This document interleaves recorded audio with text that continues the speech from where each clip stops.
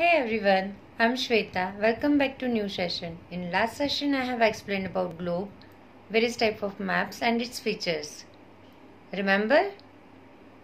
Let's have a look. A globe is a model of the earth. It is spherical in shape. A map is a drawing of earth on a flat surface such as paper. Various types of maps. Physical map shows mountains, rivers, plateaus, lakes, deserts, and landforms. Political map shows boundaries of countries, states, and cities. Thematic map shows industries, agriculture, rainfall, and soil. Tourist map shows location of important places. You cannot carry globe with you because globe is heavy and not easy to carry. But map can be folded and carried anywhere easily.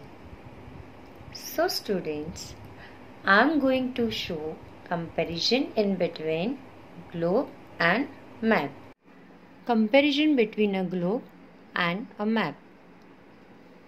Globe is a model of the earth which is spherical in shape. Map is a drawing of earth or a part of it on a flat surface such as paper. Globe mainly shows countries, continents and oceans. Map can show information such as forest, agriculture and industries of a particular region in detail. Globe cannot show all the places present on the earth. Map can show the entire world or a part of it.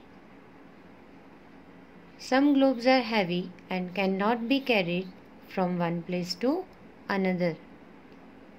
Map can be folded and carried anywhere easily.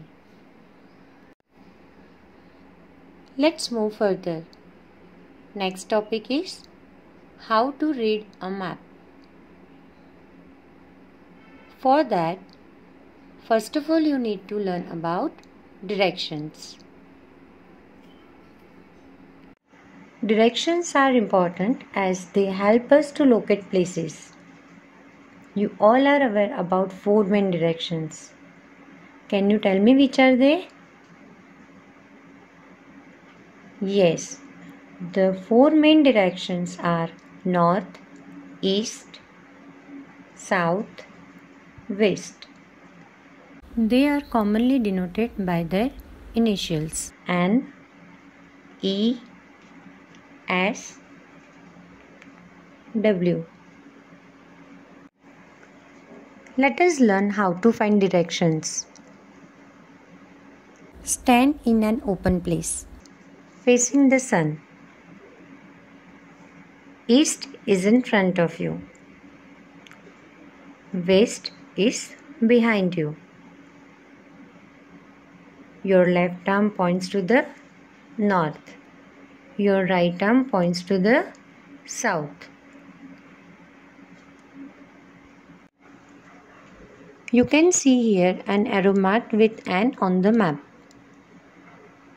The letter N on the map usually seen at the upper right hand corner of the map. It represents the north direction. When it is marked, it is easy to find other directions. Directions help to locate places on map. Okay. If we are facing map north that is N on the top. East that is E the right hand side if we stand facing the map. South, that is S, at the bottom, opposite to the north. West, that is W, the left hand side, that is opposite to the east.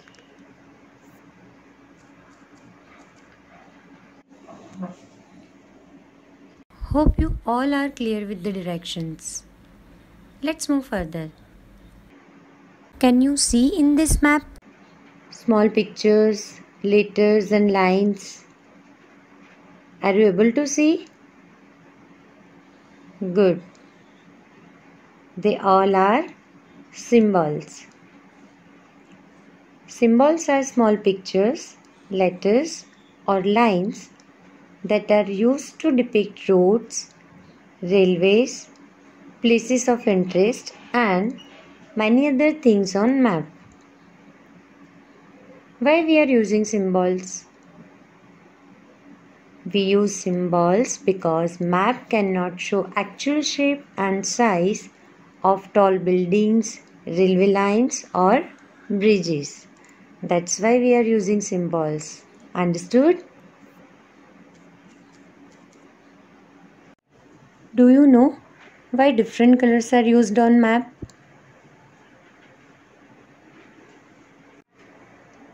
Colors are used to show different things on a map.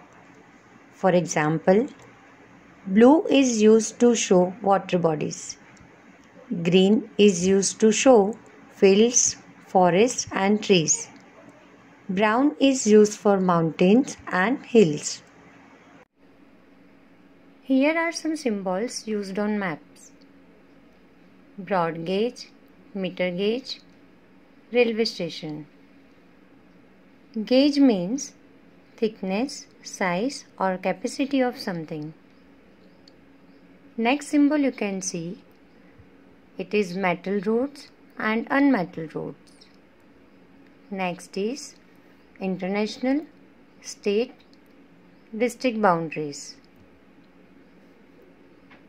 Next symbol is of river, well, tank, canal and bridge. Next is temple, church and mosque. PO stands for post office. PTO stands for post and telegraph office. PS stands for police station. Next symbol is of trees and grass. So students, I am sure with the help of today's session, you will be able to find directions easily. Now it's time for home fun. Suppose you are having a friend who lives in Pune. Suppose you are having a friend who lives in Pune. In which direction this city from where you stay? In which direction is this city from where you stay? Be ready with the answer in next session. Till then, stay safe, stay healthy.